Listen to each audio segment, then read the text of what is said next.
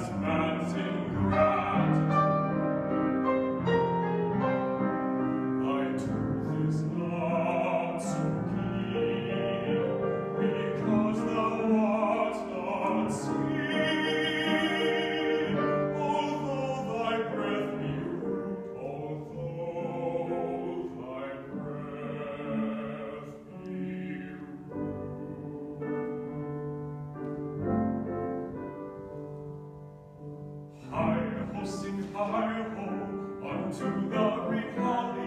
Most friendship is fading, most loving.